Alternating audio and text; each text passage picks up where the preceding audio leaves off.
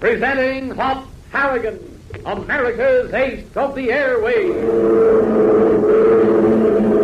CX4 calling control tower. CX4 calling control tower. Standing by. Control tower back to CX4. Wind southeast, ceiling 1200. All clear. Okay, this is Hop Harrigan coming in. America's ace of the airways. Coming in for another transcribed episode in the adventures of Hop Harrigan.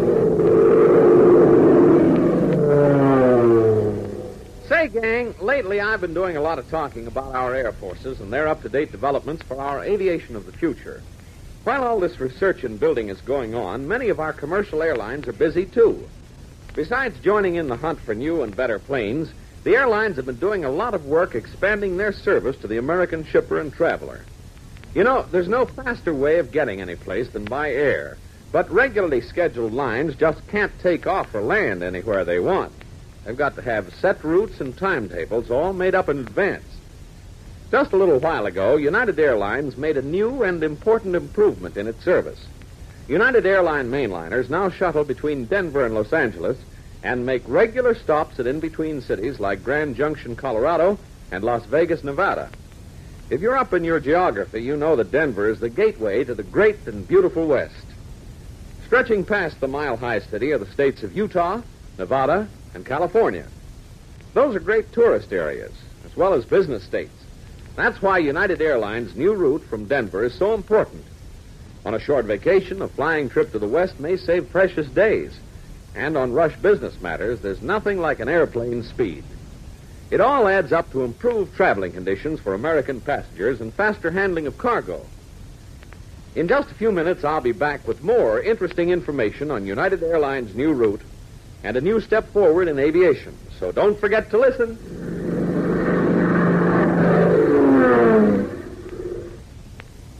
And now to our story. The theft of Dixie Davenport's Wonder Horse Sequoia and the startling reappearance of Joe Bell, her pilot, the following morning has thrown the motion picture location camp into an uproar. To keep Dixie occupied, Ivan Ivanov, the director, suggested work, and the boys left for the set at once. But Dixie, pleading for a few minutes to fix her makeup, stayed behind. When finally Mr. Ivanov sent his assistant to call her, he came running back shouting that she was gone. Now the camp is almost completely disorganized. Ivan Ivanov, roaring his displeasure, has locked the door to his quarters. Hop and Tank, puzzled and more than a little worried, hurry over to Dixie's dressing room. For Pete's sake, what got into her? Why'd she go running off? That's what we're going to find out. She was awful upset about Sequoia. Maybe she blew her top. Oh, no, Tank. Dixie's a pretty level headed girl. She was all right when we left her. Yeah, but you know dames. They nearly always fold in a clutch. I know, that's a pretty broad statement, pal. You better not let Gail ever hear you say that. Oh, Gail's different. Uh, here's the dressing room. Come on, I'm going in. What do you expect to find here anyway? If she's gone, she's gone. Tank, look. Huh? Joe's still here. Hmm. Looks like he's asleep. Does he? Close the door. What's the idea? Go on, close it. What? Oh. Oh, it's you, Mr. Harrigan. Yes, Joe. Sorry we woke you. Oh, that's okay. I've been lying here trying to get rid of my headache. Oh, of course. It, you were slugged. Uh-huh. That guy really let me have it. Does it hurt much, pal? Pretty bad, Mr. Tinker. You should have been more careful. What'd you say? Skip it. Tell me, Joe, where's Miss Davenport? How should I know? Ain't she with you? No. Was here a couple of minutes ago putting on some makeup. Oh? Yeah, she was going out to shoot another scene. She didn't show up. What? Come off it, Joe. You're not a very good actor. What do you mean? It's quite a trick to be able to fall asleep and then remember how much time has passed.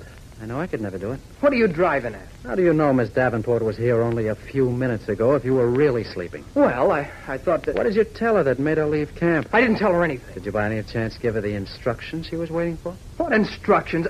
I don't know what you're talking about. Hop, are you sure you're figuring right? I'm positive. Now listen, Joe, you made a terrific entrance this morning, falling unconscious off a horse and then telling a beautiful story, but I didn't swallow it. And I won't swallow this latest routine either. Why do you get off talking to me like that? I ought to punch you right in the nose. Sit down, you. I will not. I'm getting out of here. A very rapid recovery, Sit Joe. down, Bob, or I'll knock you down. You can't get away with this. Who's going to stop me? Joe, sit down. No, I won't. Hop said sit down. All right, all right. You don't have to get tough about it. Now, let's get down to facts. Start from the beginning, Joe. What really happened last night? I told you. I want to hear it again. A man wearing a black scarf over his face surprised you while you were stretched out on your bunk in the plane. That's right. He told you to start the engines. Yeah. How much flying time do you have, Joe? Over a thousand hours. And do you mean to say you couldn't have faked trouble? He, he had a gun. I was scared. I see. Then Miss Davenport arrived with Sequoia. You met her at the ramp and took the horse inside. Yeah, that's what I said. He was holding a gun on me all the time. I couldn't do anything else. Where was he standing? Why, he, he was up in the flight compartment. And you were at the ramp. That's a pretty tough shot, Joe. He would have had to lean out the cockpit window to get you, which would give you plenty of time to duck under the ship. I was afraid Miss Davenport might get hurt. She could have gotten under there, too. I, I didn't think, that's all. Or else your thinking was done for you. Then you said he forced you to take off. You flew the ship according to his instructions, but you didn't know where you were going. I told you, he kept the compass covered. The magnetic compass? Yeah. How did he cover it? Why, why with his hand? How many hands did he have, Joe? I don't get you. In case you've forgotten, there are at least two other compasses on the panel. Why? Maybe he grew a couple of extra hands to keep them covered, too. You, you're trying to trick me. Uh-uh, you've tricked yourself. Now come on out with it. Where did you take Sequoia? I don't know. I tell you, I don't know. You know all right. I got mixed up. We we turned so many times. You'll find compasses can always keep track of those things. Well, we we were heading west into the mountains the last I remember. How far away from the camp were you when you landed? I don't know. You gotta believe me. Like fun, we will. Now, Joe, we'll get down to what happened only a few minutes ago. What did you tell Miss Davenport? I uh, If you say you didn't tell her nothing, I'll shove this fist right down your throat. Well, I gave her a message. What message? Go to the Timberline Hotel in Barstow. And? That's all. Just go there, register, and wait. Why didn't you tell us before? I was only supposed to tell Miss Davenport. He, he told me if somebody else found out, he'd kill me. And that brings up the last point. Who is he? I don't know. Listen, Bob, I'm getting tired of hearing Honest, that. I don't know. His, his face was hit all the time. I never saw him once. Huh? You want me to pound it out of him? No, no, leave him alone. That's all you have to tell us, Joe. Yeah, but honest, I didn't have anything to do with it. I, I had to do what he told me. I have my doubts, but we can't waste any more time here. Tank. Yeah. Take him over to Ivanov. Tell Ivanov to hang on to him until he hears from us. What are we going to do? Fly to Barstow and see Dixie. I'll get the Beech ready. Go on now, roll. Come on, Punk, move. And Okay, fast, or I'll give you the call my No, boat you- out. Come on, never mind turning around. Just move.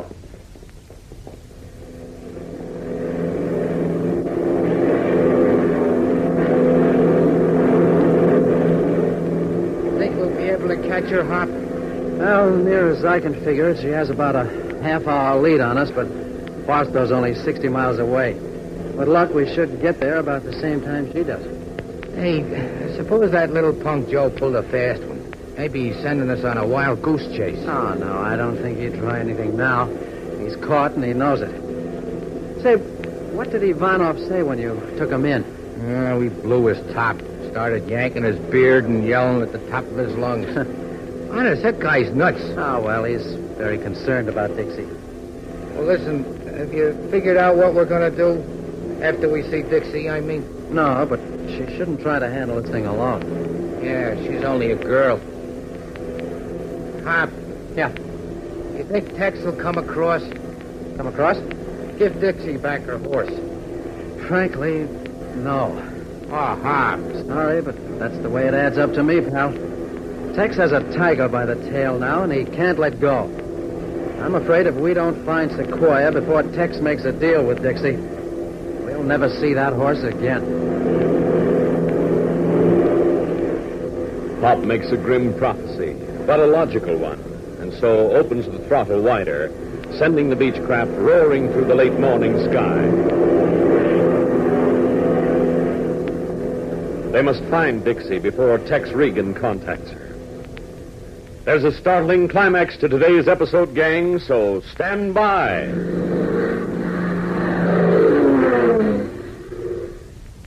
Just a few minutes ago, gang, I was telling you all about United Airlines' brand new regularly scheduled flights from Denver to the Pacific coast. And you can take it from me, it was a pretty exciting day for the airline when the first plane took off. There were about 200 people gathered around one of United's giant mainliners on a Denver airport that morning. Then up stepped a pretty moving picture starlet, raised a bottle, and smashed it over the nose of the great four engine ship. After that, a group of governors, mayors, and businessmen boarded the plane for the first flight along the new route. It was a thrilling moment for the line officials when the DC 6 took off smooth as a bird and headed west for Los Angeles. Just three and one half hours later, the plane came down in the Pacific Coast city with the same ease as the takeoff. That same day on the return trip, the ship landed in Las Vegas. And at the Las Vegas airport, another crowd gathered around while the movie starlet branded the plane. sir, the mainliner got branded just like a cowboy brands a steer. And that, fellows and girls, is what happened on the first trip over the new route. This is only a small example of what American airline companies are doing to make their service better. Whether it's a new route, or new and faster ship, or a new gadget that makes plane travel safer or more comfortable, the airlines are on the job. And that's the tip off on how our entire aviation industry operates, always with an eye to improvement for the future. Keep this in mind, gang. Aviation looks to the future. And if you want to join the increasing ranks of the pilots and technicians of tomorrow, get ready now. It's none too early, regardless of your age. And always remember America needs flyers.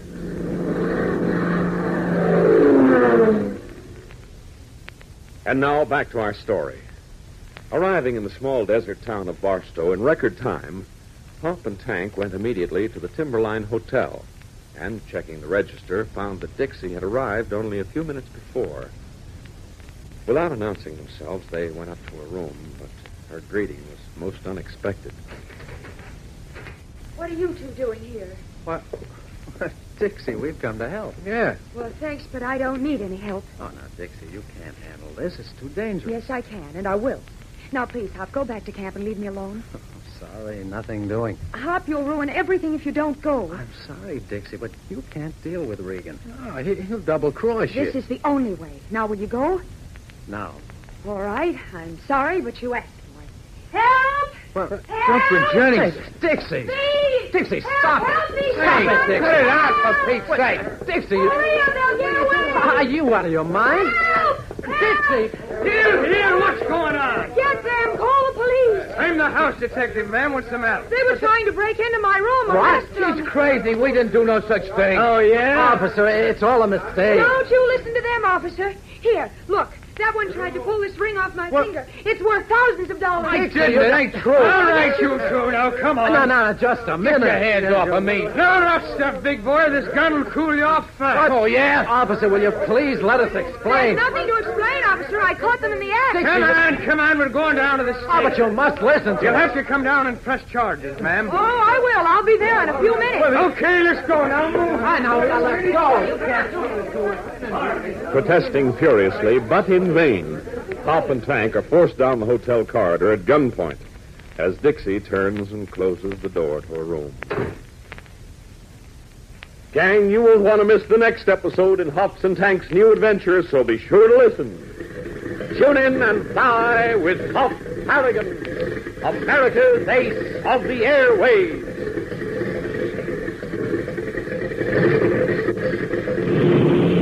So long, Hop. We'll be seeing you same time, same mutual station.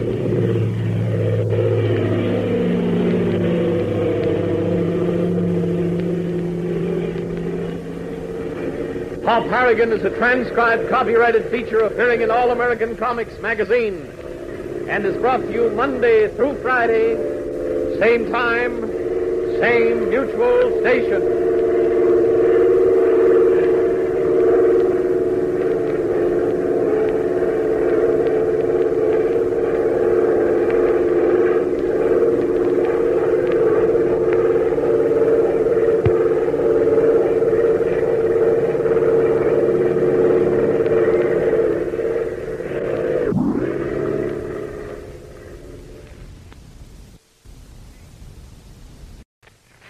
Presenting Hop Harrigan, America's ace of the airways. CX-4 calling control tower. CX-4 calling control tower. Standing by. Control tower back to CX4. wind southeast, sailing 1200, all clear. Okay, this is Hop Harrigan coming in. Yes, it's America's ace of the airways. Coming in for another transcribed episode in the adventures of Hop Harrigan.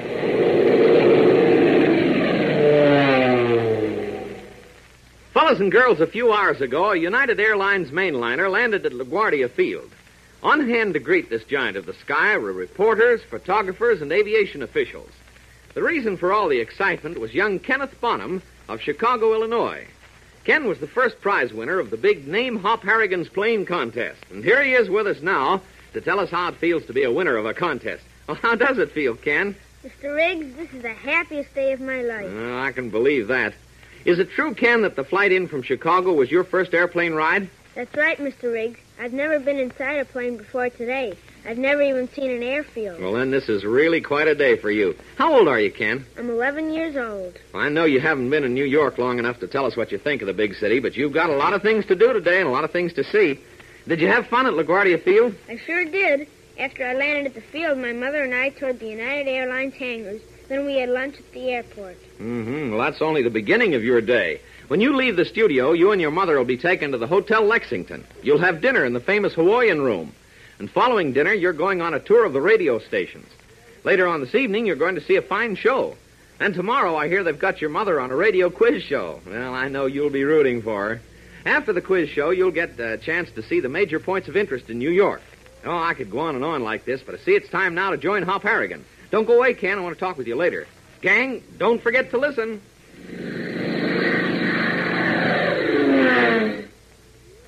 And now to our story. One surprising event has followed closely on the heels of another. And now, on the second day of their new venture, acting in a Western movie, Hop and Tank find themselves in jail. As the young pilot stares moodily out of the barred window of their cell, Tank stomps back and forth on the stone floor, six paces forward, six paces back, in endless round trips, grumbling incessantly. You can always count on him to do something wrong. Try your best to help me, you end up getting it in the neck. Tank, how long are you going to keep that up? Well, I'm sore. I don't feel any too good myself, but you're not helping matters running a rat race around the cell. I gotta blow off steam somehow. We beat our brains out trying to help Dixie, and look where we wind up in the can. How long are we gonna be stuck here anyway? As long as it takes Ivan Ivanov to get here, he'll see that we're released all right. Yeah, you hope. That screwball is just as liable to fix us so we get home. Now, don't be ridiculous, Tank. How do you know he's coming? I called the location camp when we were brought in, told Peabody the whole story. Hop, what's it all about anyhow? Why Dixie say we was trying to break into her room and steal her jewels? Because she wanted to get us out of the way. But we wanted to help her. She's trying to play it alone. Yeah, but it won't work. You said so yourself. Tex Regan will double cross her. I know it. I only hope she and Regan haven't made contact yet. Begin. Show me that they are. Hop, listen. Ivanov, time is money. It's Ivanov. At last. Down this way. Oh, brother, now we can get out. Here's the cell you want. So? Oh, gosh, we glad to see you, Mr. Ivanov. We thought you'd never get here. Okay, go on in. You only got five minutes. It will be enough. Five minutes. Aren't you going to get us out of here? Yes, you are. Mr. Harrigan, people are not put in the Bastille for nothing. I've come to find out how bad is your crime. Crime? We ain't done nothing. That is what they always say in the movies. This is not a movie, Mr. Tinker. So tell me what you did. If it's not too bad, perhaps Ivanov's influence will make the sentence lighter. Sentence? He's railroading. Hold it, Tank. Look, Mr. Ivanov, this has all been a bad mistake. I know, Mr. Harrigan, I know. So tell me what you did do. Nothing. We was framed. Mr. Tinker, do not raise your voice. It gives me a headache. Oh, no. Let me explain, Mr. Ivanov. That is what I'm waiting for, Mr. Harrigan. Begin at the beginning, and when you come to the end, stop. Yeah, be sure and stop. Mr. Ivanov, you know what happened this morning? Of all the ridiculous questions, all the wasted time, the wasted money, how could I forget? Well, we found out Dixie came here to Barstow. She was trying to make a deal with the man who stole her horse. Make a deal. Explain yourself. Well, she was told that if she registered at the Timberline Hotel, the man who stole the horse would meet her. Tell her how she could get him back. So? That's why we came here. We wanted to help Dixie. We were afraid Regan would double cross her. So? So what happened? She wouldn't let us help her. She sicked the cops on us. She what? She began screaming at the top of her lungs. When the hotel detective showed up, she accused us of trying to steal her jewels. So we were hauled off to jail. We didn't have a chance. What's so funny? Ah, my darling Dixie. She is so clever. Such a wonderful idea. I use it in my next production. Go ahead and use it, but get us out of here first. Tell me, for why did she do this? Apparently, she's afraid that if Regan sees us or knows we're around, he won't deal with her. Yeah, we ain't around, he'll really give her the business. Uh-huh. So, very bad situation. What are you going to do about it? I will have you released right here. As if we could go any place. Officer! Officer! Yeah? Come on, let me out of here. Okay. I will speak to the desk sergeant's personnel and explain everything. You will be in here no longer than it takes Ivanov to say a few words. That ain't short. Okay, come on. So thank you. Do not worry, Mr. Harrigan. I will be back. Yeah, he'll be back all right. Sergeant will give him the next cell. But true to his word, Ivanov returns within the space of a few minutes and triumphantly announces their release. Wasting no time, they all jump into the director's limousine and head for the Timberline Hotel again. After two o'clock, almost three hours since we saw Dixie. Hope we're not too late. Too late for what? Well, if she and Regan have met already, Lord knows what'll happen. Will you please be so kindly to stop playing dirty questions with me, Mr. Harrigan? That is just what I ask. What will happen? For Pete's sake, don't you get it yet? Dixie'll most likely pay Regan off, and then he'll be holding all the aces. Aces? They're playing cards at a time like this? Oh, ah, no, no, of course not, sir. I'm sure he won't give Sequoia back to her. He'll take her money and then simply disappear. No, he cannot do this. Why not? No matter where he takes the horse, people would know the horse Sequoia. That's just it. He'd kill it. Kill her over my dead body. Here's the hotel. Do your best with her, Mr. Ivanov. Try to persuade her that she's got to let us help her, that she won't get anywhere dealing with Regan alone. You can count one, two, three on me, Mr. Harrigan. When Ivanov makes up his mind, his mind is made up. Okay, let's go. We going in too? Sure? Suppose she pulls the same stunt. Oh, she wouldn't dare. Hope we don't run into the house, Dick. I don't see him. That's all we need right now. You know Dixie's room number, Mr. Harrigan? Uh, it's on the second floor. 227, I think. thought it was 237. Never mind, I asked the desk clerk. You, mister, Yes, sir? Can I help you? will you be so kindly to announce Ivanov to Miss Dixie Davenport? Miss Davenport? What's the matter? You're deaf? Well, I'm sorry, sir, but Miss Davenport isn't here. What do you mean she's not here? She checked out, sir, almost an hour ago. At the desk clerk's startling announcement, Hop and Tank can only stare in amazement. Even the bombastic movie director is at a loss for words. Gang, there are more surprises ahead, so stand by.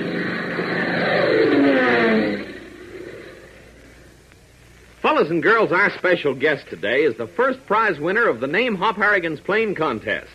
He's 11 year old Kenneth Bonham of Chicago, Illinois. Ken, suppose I try to describe you to the gang. I'd say you were about uh, four feet ten inches tall. 411, Mr. Riggs. I was close. Now, suppose you tell us about yourself, Ken. All right. I weigh about 80 pounds, and I'm interested in most sports. My main interests, though, are music, science, reading, and, of course, aviation. I understand you build model planes. Yes, I do. Uh, excuse me, did I hear you mention model planes? That's how I learned all about flying. Used to build all kinds of models when I was a kid. Oh, Ken, do you know Tank Tinker? Yes, I've met Hop and Tank before the show today. Say, can I get a word in? Sure thing, Hop. Well, Ken, I want to thank you for naming my new plane for me. And it's a swell name, too. And it just occurred to me that it might be a good idea to tell all our listeners the name that won first prize for you. I'd be glad to, Hop. I named the plane Zodiac Acrobat.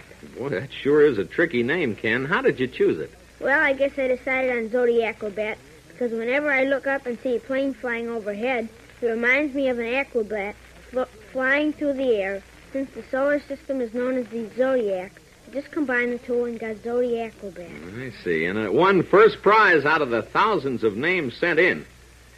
I'd like to talk with you longer, Ken, but we've got to get back to the program now. Thanks so much for your visit with us today, and I do hope you and your mother have a swell time in New York. So long. So long, Mr. Riggs. So long, Hop. So long, Tank. Good luck, Go Ken. on, Ken. Fellas and girls, whether you like to build model planes or pilot real ones, always remember America needs flyers.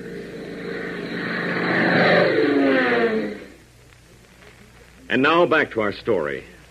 With the news that Dixie Davenport had checked out of her hotel, Hop and Tank were stymied. They had no way of tracing her, and so headed back for the location camp in their Beechcraft. Ivan Ivanov, the explosive director, along as a rather reluctant passenger.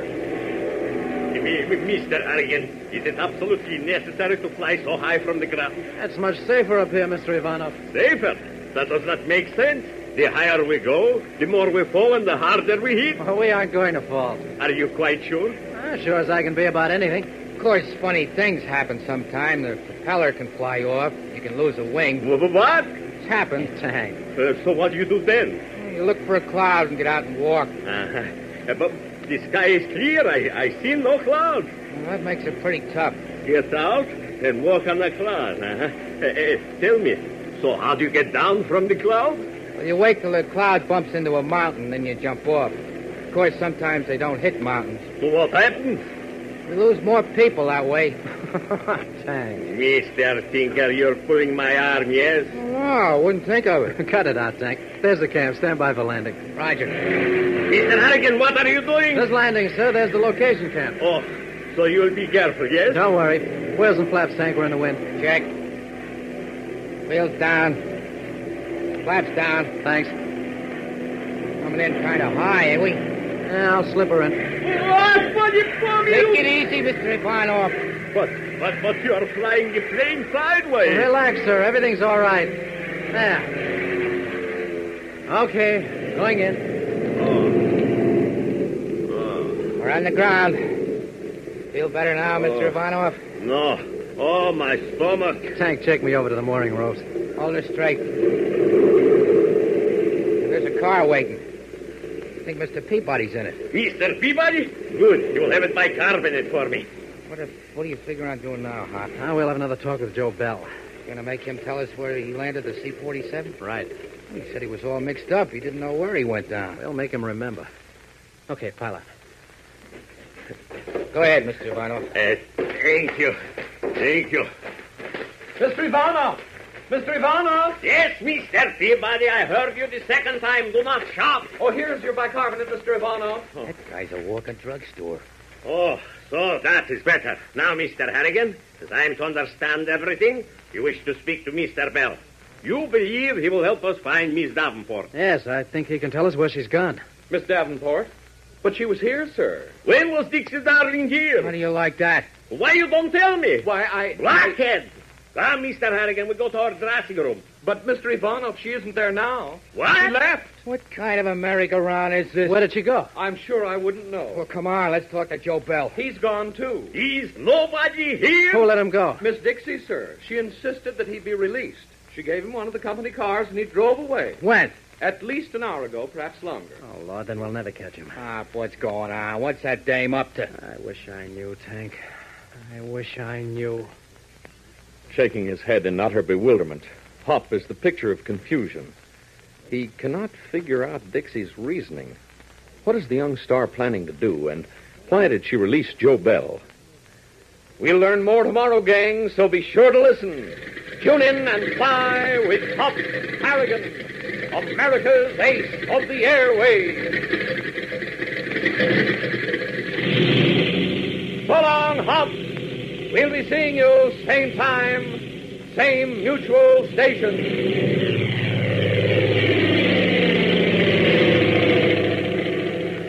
Hop Harrigan is a transcribed copyrighted feature appearing in All American Comics magazine.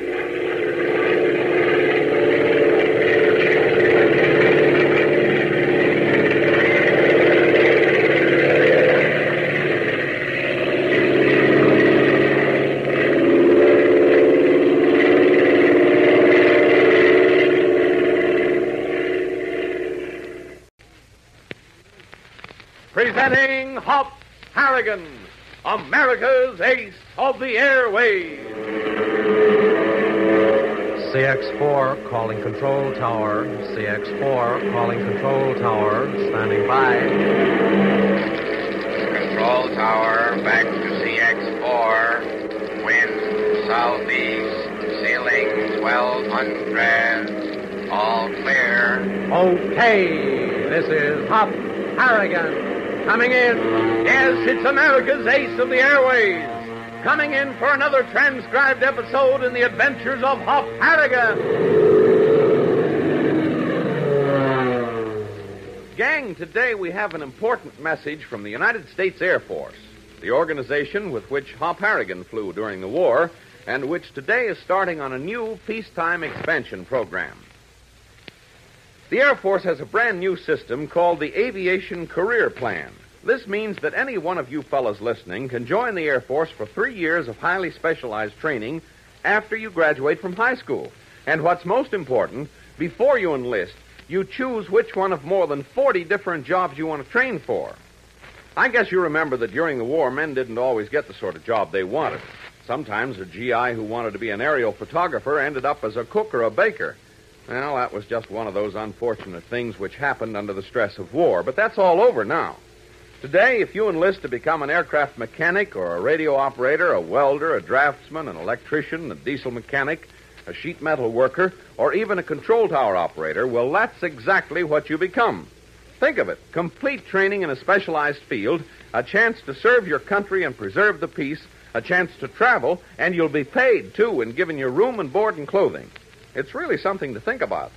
Because you fellows who are going to be 17 soon could come out of the Air Force at 20 after three years of fine experience, specially prepared to take your place in the civilian world as a trained specialist. I'll tell you more about the Air Force career plan and flying cadet training later. So don't forget to listen.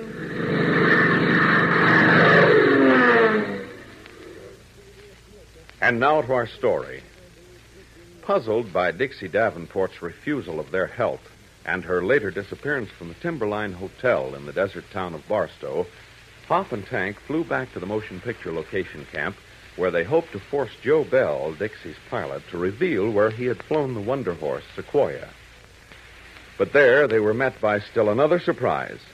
Dixie had returned to the camp, had released Joe, and had again disappeared. Now it is the morning after a very restless night. The boys are dressing, and Tank is, as usual, grumbling his displeasure. If it was up to me, I'd say forget the whole thing. If you don't want our help, let her get it in the neck. See if I care. On a tank, that's no way to act. I suppose she's acting nice. What a routine. It ain't enough she gets us slapped in a jug, but then she goes and turns loose the, the one guy who's got all the dope. Well, Dixie didn't know Joe was working for Regan. Well, if she stopped to think a minute, she could have figured it out easy enough. Oh, well, forget it, Tank. All right, uh, ready to go? Just a second. Gotta put on my tie. What? A tie? You've never worn a tie in your life. So what? High time I started, ain't it? Oh, but why? Well, makes you makes you look better. Oh, I see. This movie life's really going to your head, isn't it? I'll lay you off. There. Pretty nifty, huh? Ah, Now, come on, I'm ready. Let's get down to the mess shack before them wolves polish off all the breakfast. well, that sounds normal, at least. Go ahead, then. Thanks.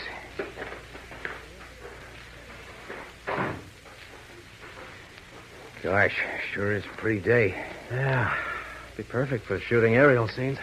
How can we without Dixie? Well, who knows? Maybe Ivanov will get another one of his inspirations and figure out a way to shoot around her. But, Tank, look. Huh? Where?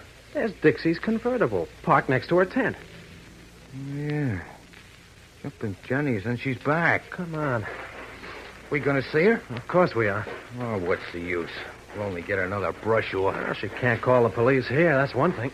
I thought we was gonna leave her alone and let her fight her own battles. That was your idea, not mine. Oh, Hop, if you keep sticking your nose in where it ain't wanted, you're gonna get it cut off. Hey, shut up now. Yes? Good morning, Dixie. It's Hop. Oh, just a minute, please. Hmm. She ain't exactly cheering because we're here. I'll lay off, will you? What's taking her so long? She's getting dressed, you idiot. Oh. Here she comes. Morning, Hop. Tank, Hello, Dixie. Morning. come on in. Thanks. Getting dressed, is she? She ain't even been to bed. Tank, shut up. Well, Well, I suppose I should apologize for what happened yesterday, but it was your own fault, boys. Our fault. You wouldn't listen to me. I begged you to leave me alone and come back here, but you refused. There was nothing else I could do. okay, Dixie. You had to play it that way, you had to. No harm done. Thank you, Hop. I knew you'd understand. Oh, but I, I don't. You still haven't told us why you wouldn't let us help. I can't tell you, Hop. This is something I have to work out by myself. Dixie, is it working out? Are you getting what you want? Yes. You sure? Everything will be fine if no one interferes. Dixie, how can you trust Regan? It isn't a question of trust. He has Sequoia, so I have to do what he says. Uh, I suppose he promised to give him back to you? Yes, he did. You believe him? I have to believe him. Dixie, what about Joe Bell? What about him? Why did you let him go? What right did you have to treat him like a criminal? Because he is one. He and Regan are in cahoots. I don't believe it. Why, I'd trust Joe with everything I own. Ah, women can't see two inches in front of their noses. Lay off, Tank. Dixie, where did you send Joe? I. I can't tell you. You've got to. Hop Harrigan, I won't stand for this. How dare you question me? What I do is my own business. But can't you see that you. Excuse me. Hop, what's the use? You're beating your head against a stone wall. But I've got to make her understand, Tank. Yes? Special delivery letter for you, Miss Davenport. Oh, thank you. You're welcome, Miss Davenport. Hop, Yes? I don't think there's anything more we have to say to each other. Oh? Okay, Tank. Come on. I, uh, I'm sorry, Hop. That's okay. But whatever you do, Dixie, watch out. Don't trust Regan or Joe Bell. Very well. All right, Tank. Well, guess that washes us up good. Let's go have breakfast before I lose my appetite. No, Tank. Duck around here behind the property tent. Huh? What for? Something's up. How do you know? Dixie very carefully hid that special delivery behind her back when we left. So what? She don't want us to help. Let's. Wait. She's coming out. Stay back. I still don't see what you. Hold it, will you? Yeah. She's going to her car. Uh-huh. Pulling a disappearing act again. She's in a hurry. Ain't she always? Wonder what was in that letter. Don't you wonder where she's going? Yeah, but we can always catch up to her in the plane. Well, look, how long are we going to stand here? Relax, Tank. Okay, she's out of sight. Let's go. At last, I'm starving. Sorry to disappoint you, pal. No breakfast yet. All right, Then where are we going? To? Dixie's dressing room. What for? I want to find out what was in that letter if we can. Hey, that ain't nice. She ain't going to like that. It's the only way we can help her, and we've got to.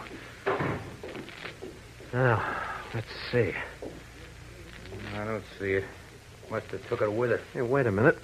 You got it? I think so. It's here in the wastebasket. Good. Uh, no. That's only the envelope. Uh, Hey, but look at the return address. Huh? The Citizens Bank of Los Angeles. so what? Don't you understand, Tank? Understand what? Add it up. Sequoia stolen. Dixie meets the man who stole him, Regan. And now she gets a special delivery letter from a bank. Jumping Jenny's, maybe. Maybe it's the payoff. No maybes about it. Get down to the strip and start warming up the Beech. I'm going to check on this, and we've got to move fast. At the driving urgency in Hop's voice, Tank stifles the questions crowding his lips and rushes out of Dixie's dressing room. Hop leaves also, but turns in the direction of Ivan Ivanov's quarters. But what can the boys do? What if Dixie turns on them again? You won't want to miss the climax of today's episode, gang, so stand by.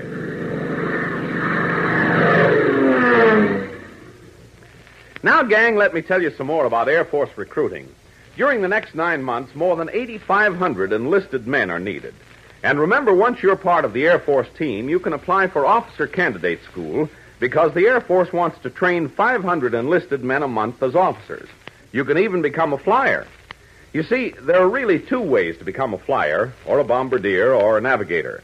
One way is to join the Air Force, get as much ground training as possible, and then, when you're 19 years old, apply to become a cadet. Young men coming out of high school at 17 or 18 years would find that plan workable. However, anyone between 19 and 26 and a half years can apply directly for cadet training from civilian life if he can pass an examination or has two years of college work. During the last part of the war and up until just recently, no civilian outside the Air Force could become a cadet. All cadets were drawn directly from the ranks. Well, now the door is open. One of the secrets of success of the Air Force has been the kind of men it has found to fill its positions. Eager, hard-working young men who know the future is in the air. Men like your pals, Hop Harrigan and Tank Tinker. Of course, we've just given you the highlights on this. You and your friends and your family will want to know more about it.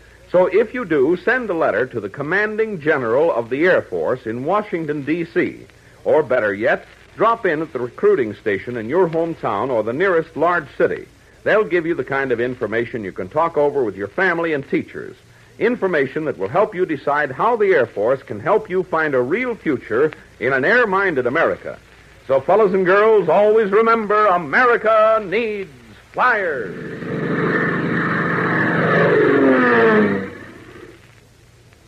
And now back to our story. A half hour has passed since Hop's discovery of the envelope from a Los Angeles bank in Dixie's dressing room, and now the boys are on the way to Barstow again, crowding every ounce of speed out of their powerful Beechcraft. Hop is explaining to his mechanic pal. Just the way we figured, Tank. Dixie withdrew some money from her bank in Los Angeles. She got a check in that envelope this morning. How much? Fifty thousand dollars. Fifty. No horse is worth that much. Sequoia is to Dixie. Who told you all this? Ivanov called the bank. They didn't want to tell him anything, of course, but you know him. He started throwing his weight around and scared them, I guess. Yeah, I can imagine. So the bank told him that Dixie had been there yesterday and arranged for the withdrawal. They sent her a bank check. Yeah, but what good's the check? Regan won't take nothing but cash if he's smart. The check is made out to a bank in Barstow. What's the idea of that? Uh, Dixie's probably going to cash the check there. Well, what can we do about it? We can't stop him. Maybe not, but we'll do something. I mean, we'll go to the bank? Yes. Yeah. Dixie sees us, two to one, she'll start yelling that we're trying to hold up this joint. Hey, what in the world? What's up? There's a DC-3 up there.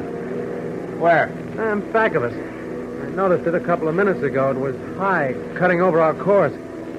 Now it, now it's lining up with us. Hey, it's coming down. Oh, yeah, yeah, I see it. What the dickens is he doing? I don't know. Tank, Tank, it's Dixie's plane. A reconverted C-47. Then Joe Bell must be at the controls.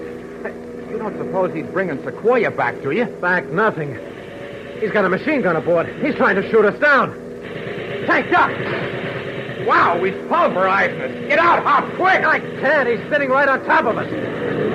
Hey, hold her! Tank, the controls are gone. They're shot away. Brace yourself. We're going down. Even as Hop shouts his desperate warning, the Beechcraft suddenly noses up in a dangerous whip stall, then falls off on one wing and corkscrews earthward, spinning down completely out of control. Gang, there's action ahead and suspense, so don't miss the next thrill-packed episode. Tune in and fly with Hop Harrigan, America's ace of the airways.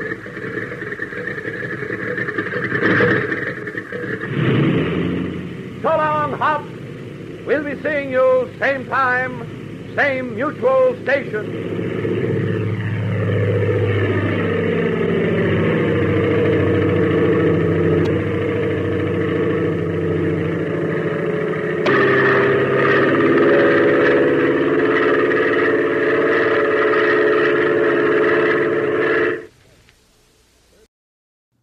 Whoa, Hop and Tank did what? Okay, anyways, that was the halfway point of the listen along. It is now time for the five minute break, so go ahead. Uh, if you don't have anything to do, we have music. And uh, yeah, I'll see you guys in five minutes. Bye.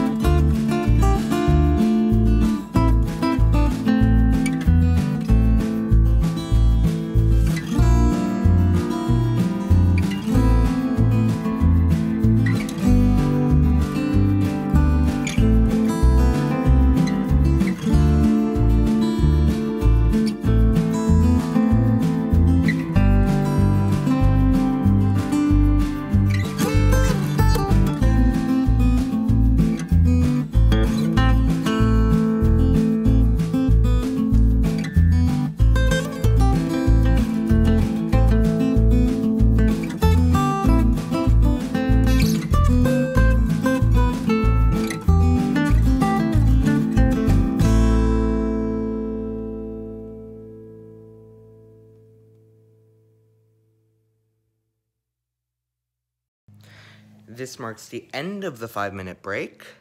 I hope you guys liked the music. I hope you guys did what you wanted. And uh, yeah, let's get back to Hop and Tank's excellent adventure. I really hope you guys got that joke. If you didn't, I'm gonna be sad. Okay. Hop and Tank, woo, yeah. Presenting Hop Harrigan, America's ace of the airways. CX4 calling control tower. CX4 calling control tower. Standing by. Control tower back to CX4. Wind southeast. Ceiling 1200. All clear. Okay, this is Hop Harrigan. Coming in. Yes, it's America's ace of the airways. Coming in for another transcribed episode in the adventures of Hop Harrigan. And this is Glenn Riggs coming in to ask a question. What does a young boy do when he gets lost? Usually he hollers for help and someone finds him and leads him home. Well, that's what happened recently to a light airplane flying over Cleveland. Patrick Anderson was returning after dark from Youngstown in his Aeronca. He got confused by the city's lights and first landed at the lakefront airstrip. He then asked the Cleveland Airport Tower for compass directions and took off. But sometime later, Anderson again radioed the tower. He still was lost. Well, at that point, Captain Harry Bitterman, pilot of a United Airlines plane, heard of Anderson's predicament and promised to keep a lookout for him when he took off from Cleveland for Chicago. A short time out, Captain Bitterman radioed the tower that he spotted a small plane. And the tower told Anderson to blink the lights of his Aeronca. He did that, and the airline pilot recognized the ship. Then Anderson was told to follow the United plane back to Cleveland. A few minutes later, the big mainliner crossed over the airfield with a tiny Aeronca following close behind, safe at home at last. And say, gang, here's another out of the ordinary aviation item. Did you know that the foggiest airport in the country, the one at Arcata, California, has been approved by the Civil Aeronautics Administration for landings under almost any weather conditions? Sounds a little fantastic, but there's a good reason for it. The Arcata field is an experimental station where nearly all the known fog eliminating devices are being tested. I've got some more interesting aviation stories, and I'll be back to tell them at the end of the program, so don't forget to listen.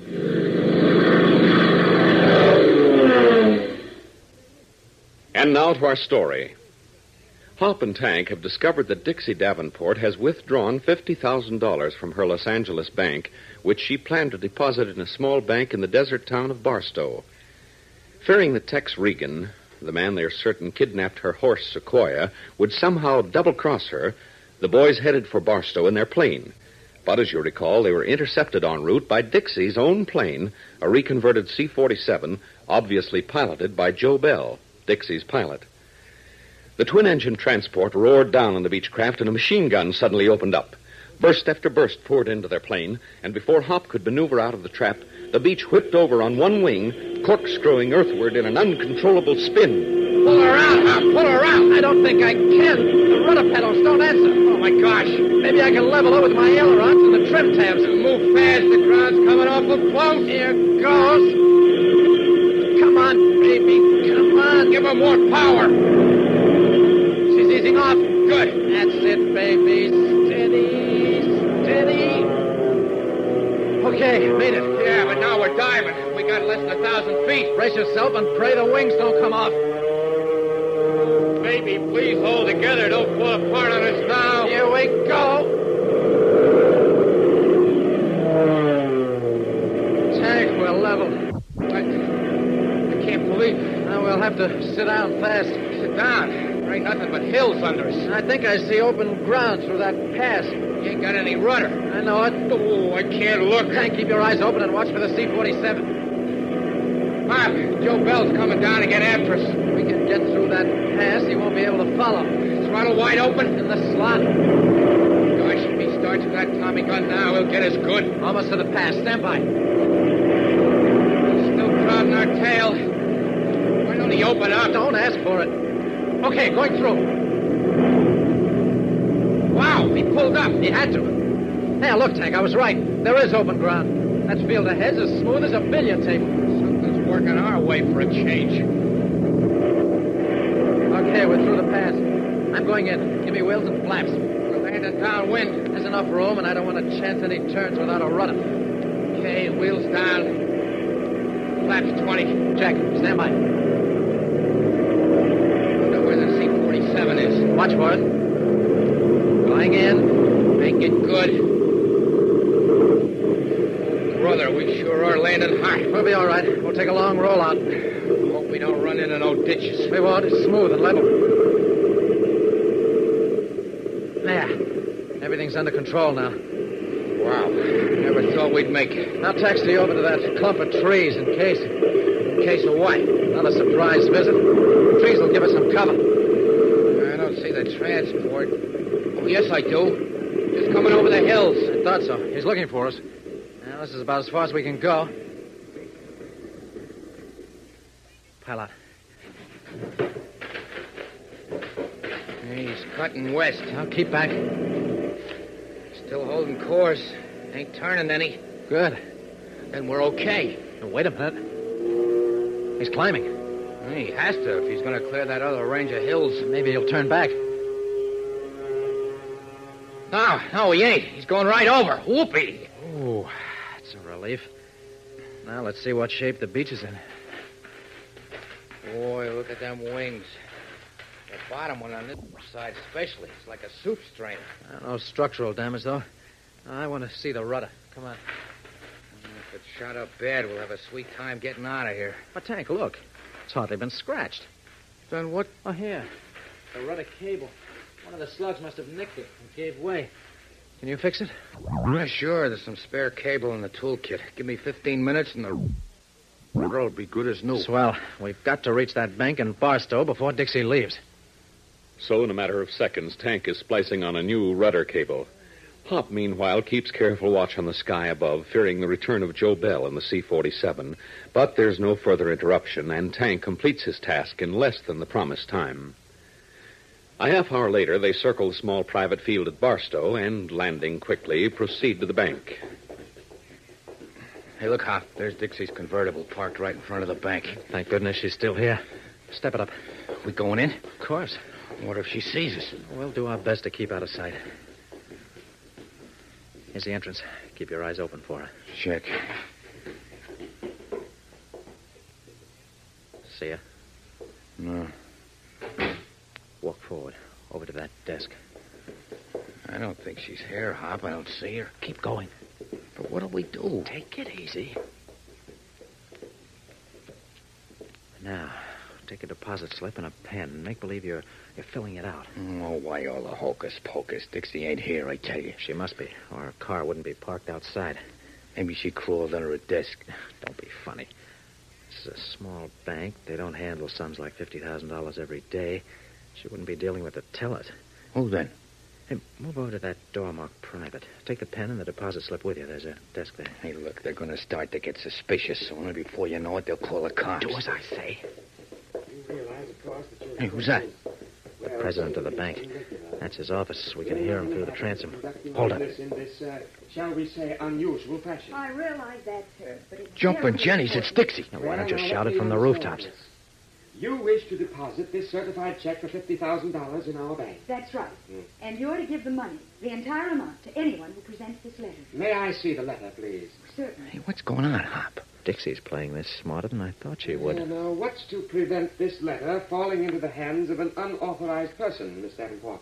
If it does, I'll be out $50,000. Wouldn't it be far safer for you to give us the name of the individual who will call for the money so that we can insist on identification? I don't know his name. You mean to tell me, Miss Davenport, you're entrusting that amount of money to a person whose name you don't know? I advise against it.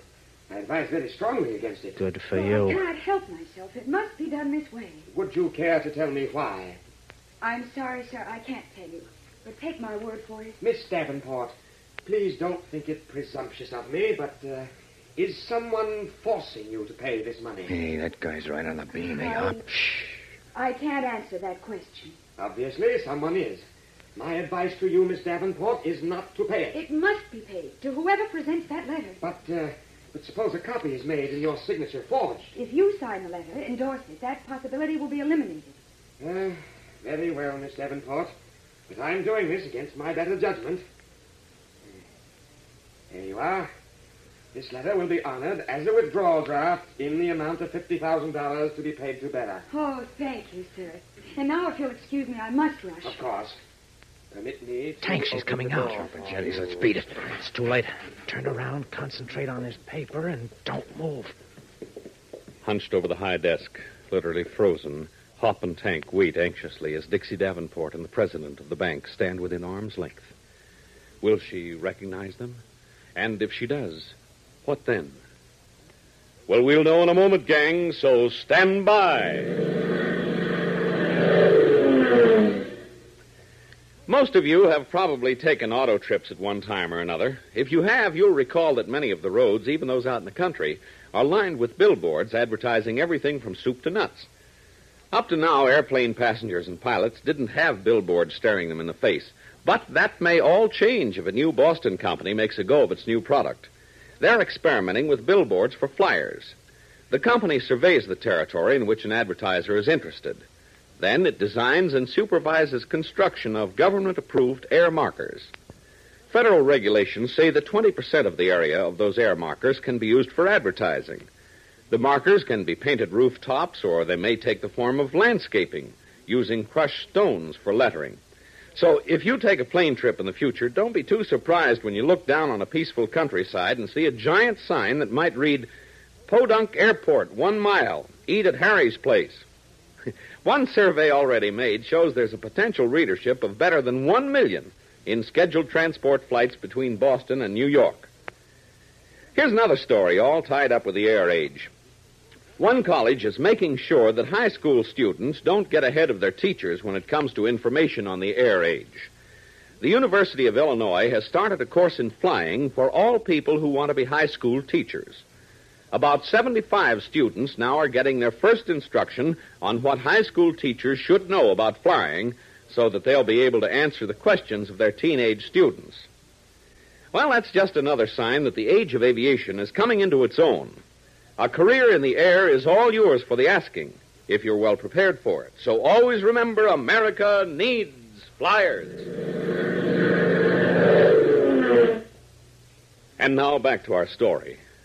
On reaching the bank in Barstow, Hop and Tank stood outside the door of the bank president's office and, through the transom, overheard the arrangements Dixie Davenport made for the payment of $50,000. But before they could get away, Dixie walked to the door, opened it, and came out. Thank you very much, sir. You don't know how much you've helped me. Glad to be of service, Miss Davenport. Please call on me at any time. I certainly will. Thank you again and goodbye. Goodbye. Uh, Casey, Yes, sir. escort Miss Davenport to her car, please. Yes. Thank you very much. Phew, that was close. How? If she'd seen us, Lord knows what would have happened. Well, come on. We can get out now. No, wait till she drives away. Wait. Are we going to follow her? Sure we are, by plane. We'll give her a little head start. Hey, there she goes. Yeah, then let's make tracks. Go ahead. Thanks. Let's see, we'll get to the Beech faster if we grab a cab. I don't see any around. Hey, watch yourself. There's a car pulling up fast. Hey, what's he want? The whole street? Come on down to the corner. Okay. Just a minute, partner. Huh? Tank, it's Regan. Jumping journey. Hey, looking for a lift? I'll be glad to oblige. Oh, you will, will you? Watch it, he's got a gun. I'll say I've got a gun. Now, come on, boys, climb in. You and me are going places. For a split second, Hop and Tank hesitate, for their first impulse is to try to make a break for it. But as Regan slowly lifts his gun, they give up all thought of escape and climb into his car. Gang, there's plenty of action and excitement ahead, so don't miss the next episode. Tune in and fly with Hop Harrigan, America's ace of the airways.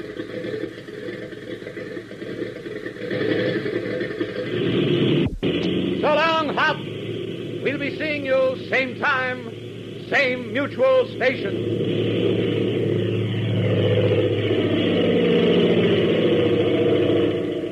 Hop Harrigan is a transcribed, copyrighted feature appearing in All American Comics magazine and is brought to you Monday through Friday, same time, same mutual station.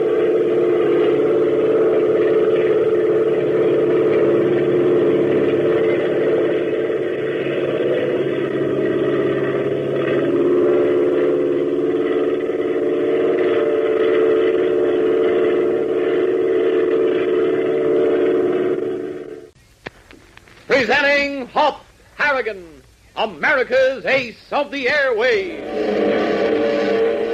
CX4 calling control tower. CX4 calling control tower. Standing by. Control tower, back to CX4. Wind southeast. Ceiling 1200. All clear. Okay, this is Hop Harrigan. Coming in, yes, it's America's ace of the airways. Coming in for another transcribed episode in the adventures of Hop Harrigan. Gang, in the early days of aviation, airplanes were simple machines. A few minutes' instruction at the time of purchase was enough to give a new owner all the details of maintenance and flight.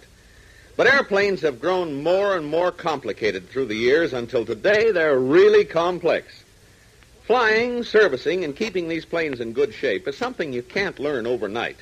When a new plane comes out on the market today, it takes the skill of top grade instructors to teach the ABCs of that new ship to a buyer. The need for instruction is so important today that most purchase contracts include a section for training the buyer's crews in the right way to care for the new airplane. One of the pioneers in this kind of instruction is the Boeing Aircraft Company. During the war, Boeing had Flying Fortress and Super Fortress schools in Seattle, and they trained more than 40,000 men there. You remember that these men serviced and maintained the huge bomber fleets that carried destruction to the heart of Germany and Japan. After the war, Boeing thought it would be a good idea to carry the schools over to the civil aviation field. Airlines were starting to expand at that time, and so Boeing thought it could make an important contribution toward increasing both the safety and general knowledge of its aircraft. The best way to tell airline ground crews how to service new planes was to send them to a school that knew all about the ship. The outcome of that today is the Boeing Stratocruiser School at Seattle.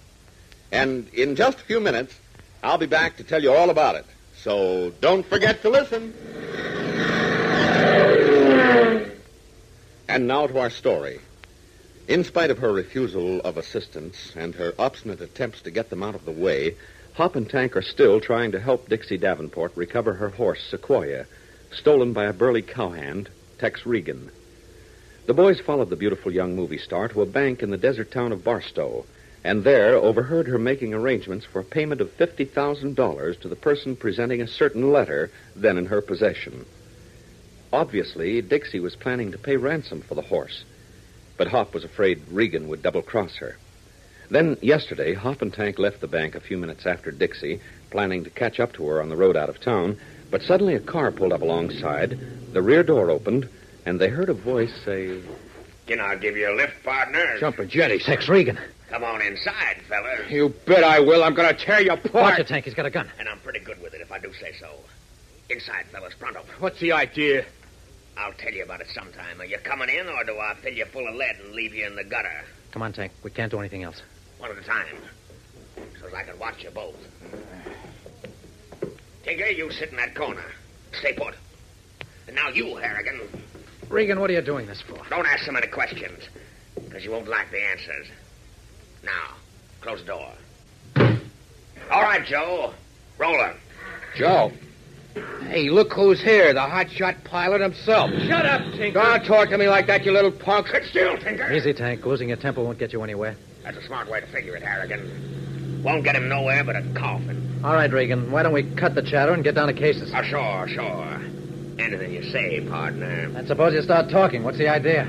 The idea is that you two are sticking your noses where they don't belong. I aim to see that stopped. Right now. Now? How? By taking care of you in my own special way.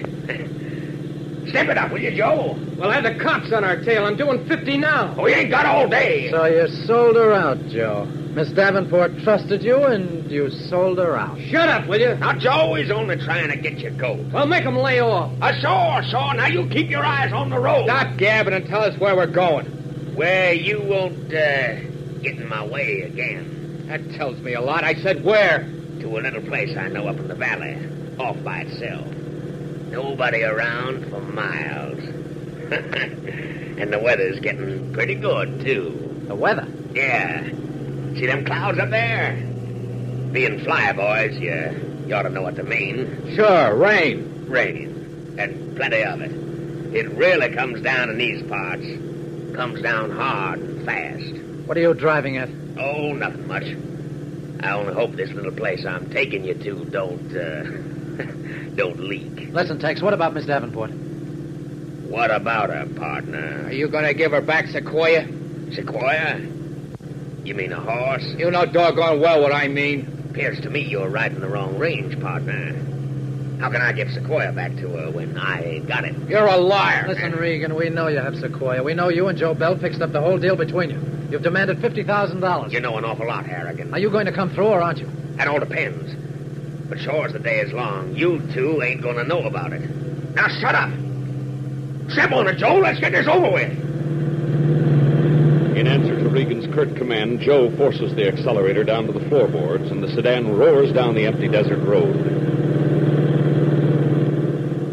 Twenty minutes later, Joe turns off into a narrow, winding lane, and after a rough, dusty half mile, stops the car in front of a weather-beaten shack, surrounded on all sides by high canyon walls.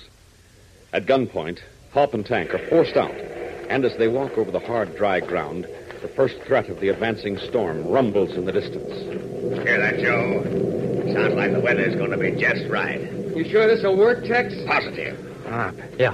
What are they talking about? Why is the weather so important? Yeah, you've got me. Maybe we can break clear. I'll hurt you, Tinker. And any time you feel like running a race with this here 45, I'll be glad to oblige. Tank, be careful. Inside, boys. Go on over to those chairs and sit down. Hop, we gotta make a break or we're dead pigeons. I know it. Stand by. Cooking up something, huh? What? Well, I'll take care of that right now. Tank, watch it! Oh. Why, you dirty... Joe, Joe, get Harrigan. Oh.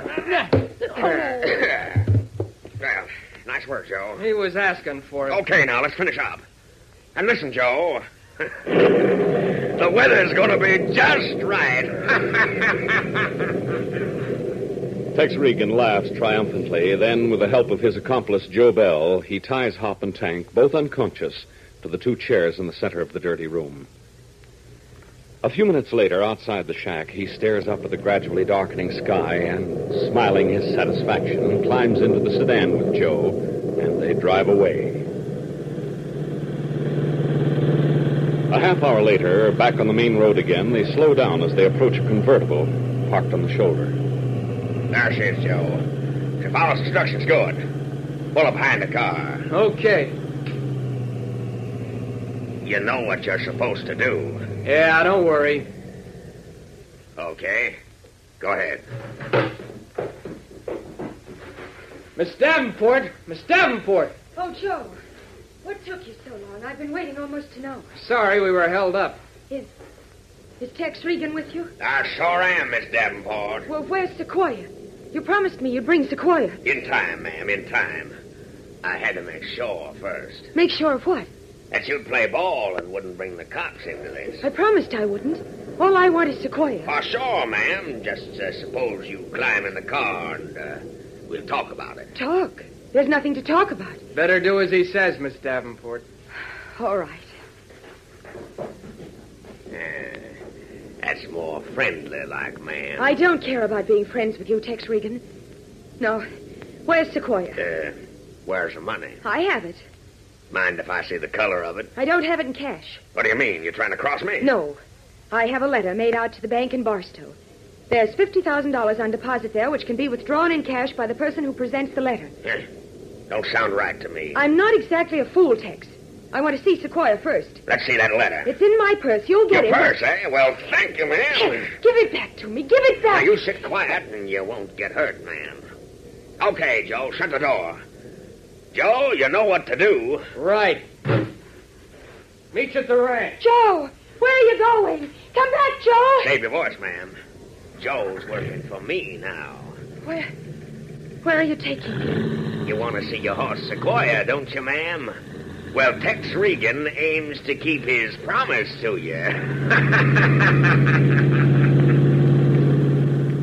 So, in the short space of an hour, Tex Regan seems to have won two important victories. He has Dixie's letter, and Hop and Tank are lying unconscious in a shack in the canyon. Things are going to happen, gang, so stand by.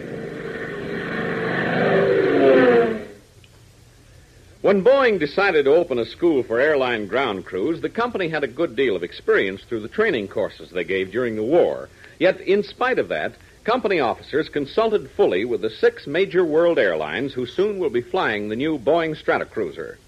Boeing asked these airline customers just what they'd like included in the training course, and they came back with a lot of requests. The two most asked for were specialist classes for men who work only on certain parts of the plane and a general familiarization course for supervisors and others who must have an overall knowledge of the ship. The Boeing Service Department worked these suggestions, as well as many others, into the training course. Finally, out of all the conferences came a business-like three-week course with two types of study. For pilots, flight engineers, and supervisors who must know all parts of the ship, the entire three weeks are taken up with a general study of the mechanism. For others who want to specialize, the work is divided into two parts. One week of general familiarization, followed by two weeks of training in their specialization. All this work of organizing was done months ago, long before the first Stratocruiser was ready to roll off the assembly line. The airlines which buy the ships must have crews trained and ready to take over the moment the new planes are delivered. Airline personnel who have taken the course and received the Stratocruiser school certificate really know they've got the best three week training in the industry.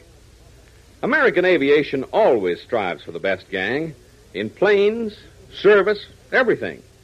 And say, if any of you want to join the growing circle of aviation men and women when you get older, get ready now. For always remember, America needs flyers. And now back to our story. Although it is only mid afternoon, the sky above the canyon is black as night.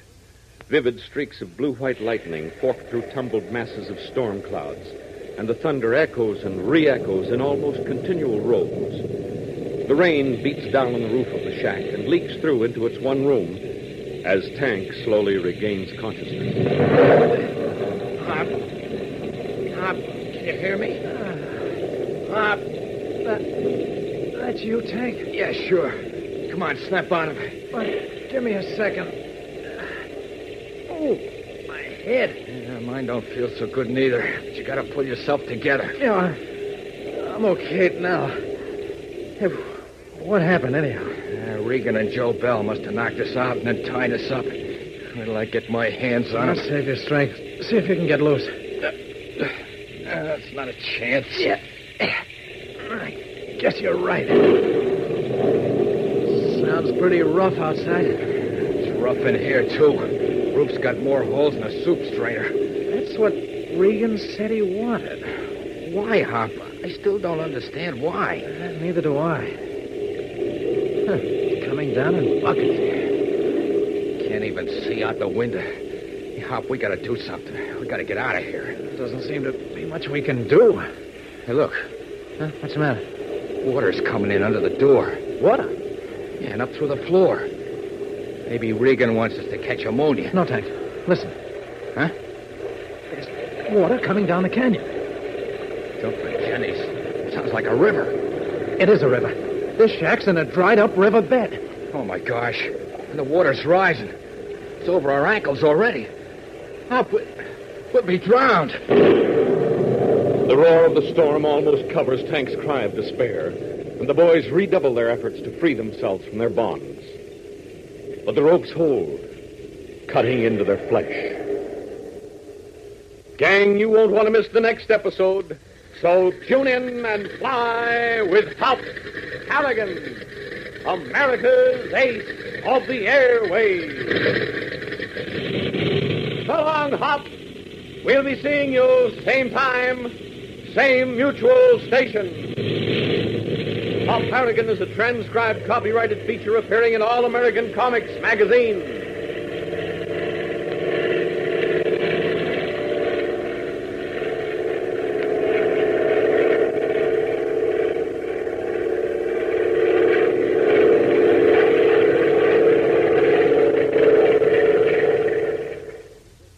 Presenting Hop Harrigan, America's ace of the airways.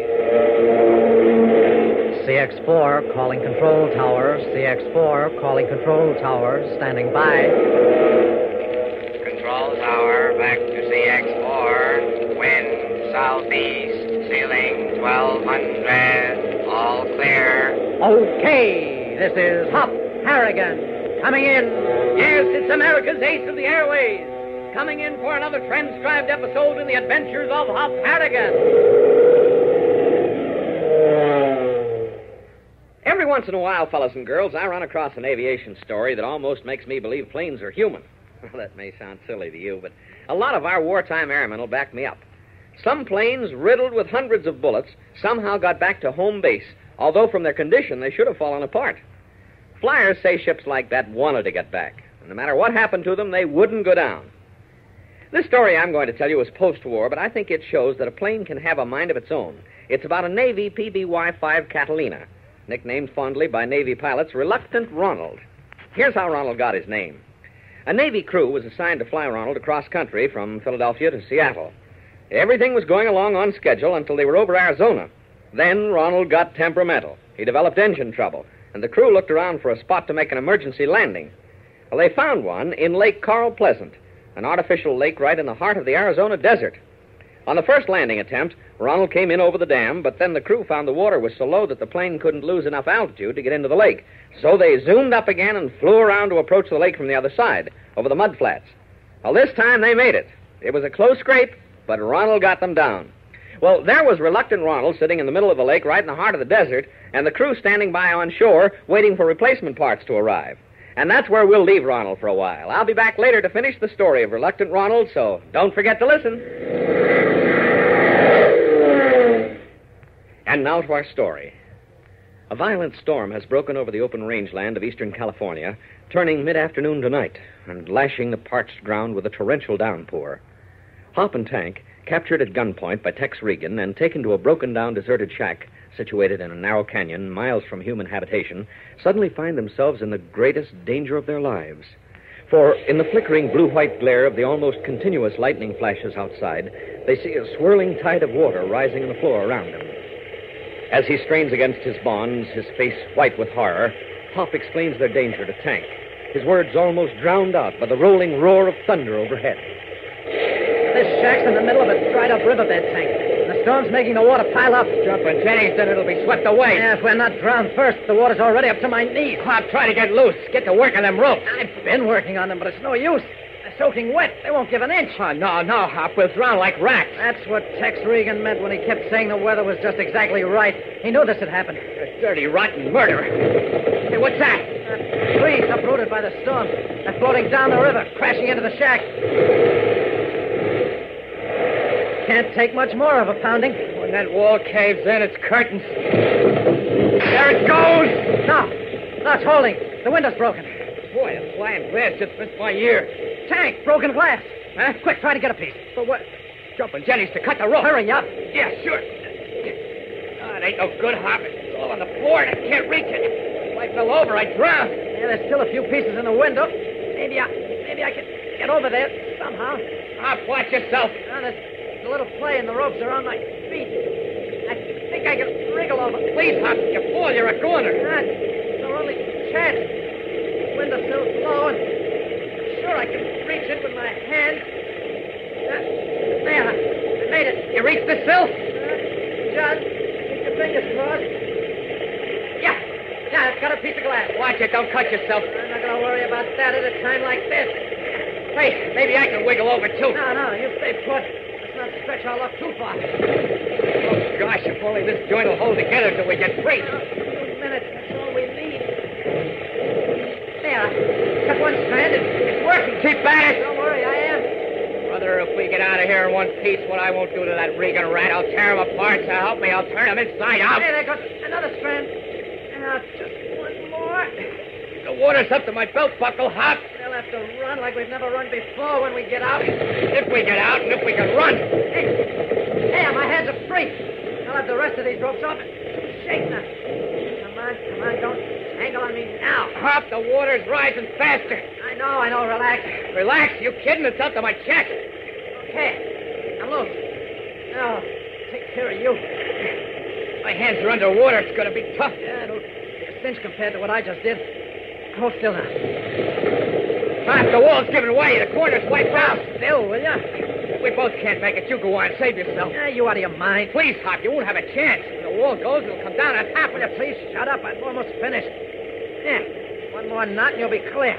Clear. The water's up to my neck. Two shakes, I'll be blowing bubbles. Okay, how's that? Come My left hand's free, but the other one's still tied to the chair. Well, work on the ropes around your waist. Check. No. Tank is still holding. Okay. Thanks. Now if I can wriggle out of the rest of them. Don't get tangled up. There. Okay, I'm loose. Now, come on, on the double. We're going to have to swim for it. So what? At least we'll be out in the open. We'll have a better chance. Stand by now. I'm opening the door. Wow, look at it pour in. Dive or we'll be trapped. Taking deep breaths, Hop and Tank brace themselves momentarily, then plunge headfirst into the roaring torrent. For a seemingly endless time, the boys fight through the swirling waters. Their breath burns in their lungs, their chests ache with the strain. And then finally, they break through to the surface. Gasping for air and struggling to keep afloat, they manage to reach the safety of the bank. Hart, let me look at you. Huh? You ain't a ghost? Ah. Not by a long shot. Oh, my gosh. How do we ever do it? Oh, don't ask me, pal. Lady Luck was really riding our shoulders that time. Well, you, you feel rested? Yeah. Well, then let's start making tracks. Where are we going? Back to Barstow. It's a long way, too. Oh, what's the use of going back there? Well, first of all, our ship is at the field in Barstow. And what else? That's where we'll pick up the trail of Regan and Joe Bell again. Ah, go on. There won't be any place within 50 miles of the town. Done for good. Not if that $50,000 is still in the bank. It's our one chance of catching up to them again, Tank. When we do, we're going to pay them back for everything. Okay, pal. We go to Barstow. Rubbing his fists in anticipation, Tank strides through the mud and rain alongside Hop, both eager for the opportunity to strike back at their enemies.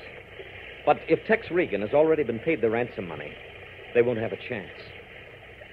Gang, you won't want to miss the climax of today's episode, so stand by. Now, gang, let's get on with the story of Reluctant Ronald. You remember we left Ronald, a Navy Catalina flying boat, on a lake in Arizona right in the very heart of the desert. The crew was standing around on the shore waiting for replacement parts to arrive.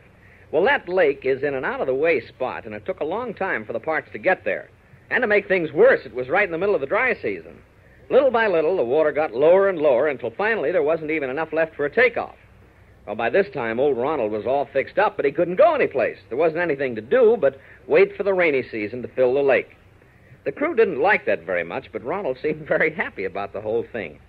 For four months, the Catalina flying boat stayed out in the desert.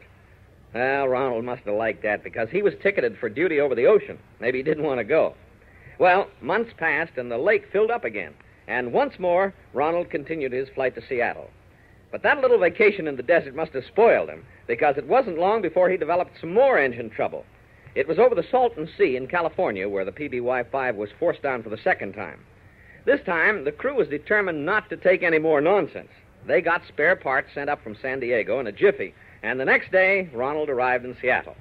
Now he's fulfilling his Navy mission serving as a patrol plane over the Pacific. If you ever wanted proof that a plane had a mind of its own, here it is. It usually takes a few hours to fly from Philadelphia to Seattle, but it took reluctant Ronald more than four months. And say, fellas and girls, don't you be reluctant about planning a career in the air. This country needs pilots and technicians for the future. So get set to take your place in the air, and always remember America needs flyers. And now back to our story. It is late afternoon. The storm has broken, and only a few scattered clouds remain, now tinted golden in the rays of the slowly setting sun. We find Hop and Tank riding in a small, rickety pickup truck, having been lucky enough to get a lift out on the desert road. As the truck wheels into the outskirts of Barstow, Tank turns to the driver. Sure glad you came along when you did. We'd have had ourselves a long hike. You can say that again. Glad I was able to help. Hey, Hop, there's the bank. Oh, yeah. Want me to let you off there? No, no, we're going on further to the airfield. Oh, okay. Why, that blast your high. Hey, watch it. Dudes racing around the big cars hogging the road. Tank, that's Ivan Ivanov's car. Jumping Johnny's. And he's stopping at the bank. Hey, uh, let us off here, will you, sir? I thought you wanted to go to the airfield. Well, we have to stop here first, please. Okay. Hold on.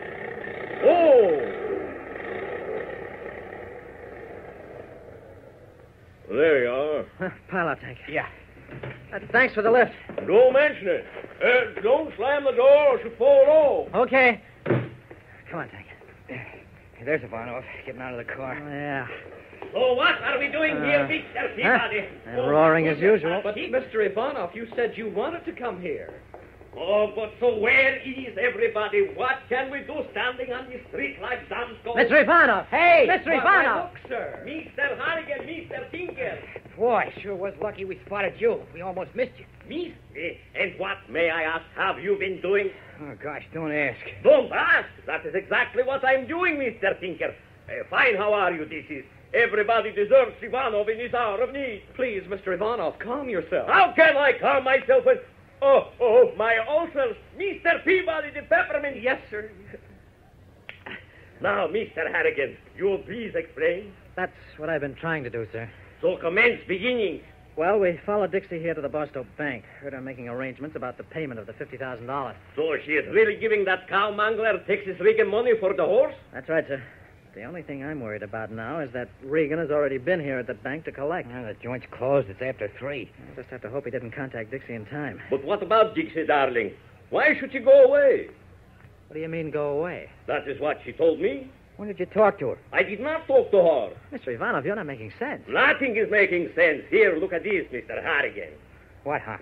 That's a note. By airmail it comes this afternoon. Airmail. Straight from the aeroplane. It dropped almost on Ivanov's head. Tank, listen.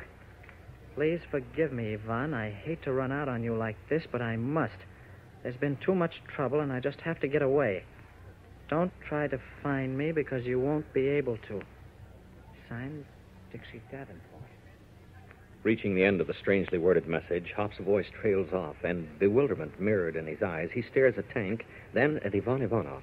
But both shrug their shoulders. What does this note mean? What is Dixie up to now? Gang, there's action and suspense in our next exciting episode, so don't fail to listen. Tune in and fly with Hop Harrigan, America's ace of the airways.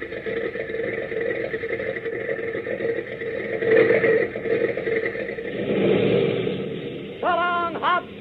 We'll be seeing you same time, same mutual station.